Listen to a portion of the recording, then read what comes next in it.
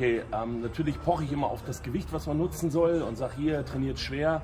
Ähm, aber letztendlich machen wir äh, ein Training für den Look. Das heißt, wenn du geil aussiehst, fragt dich ja keiner am Strand, was du hebst oder was du drücken kannst. Sei denn, er ist nicht, hat nicht eine Gurkenglas. Deshalb, ich nehme jetzt auch noch den ganzen Turm. Mehr geht ja hier nicht in den Verein. Und äh, werde irgendwie 30 Wiederholungen machen. Äh, vielleicht 40.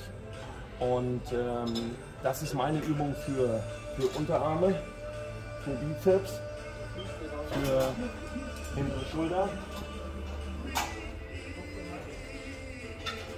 und für den breiten Rückenmuskel und den unteren Rücken. Eine Übung. Okay, für alle, die wenig Zeit haben, das ist die optimalste Methode. Okay.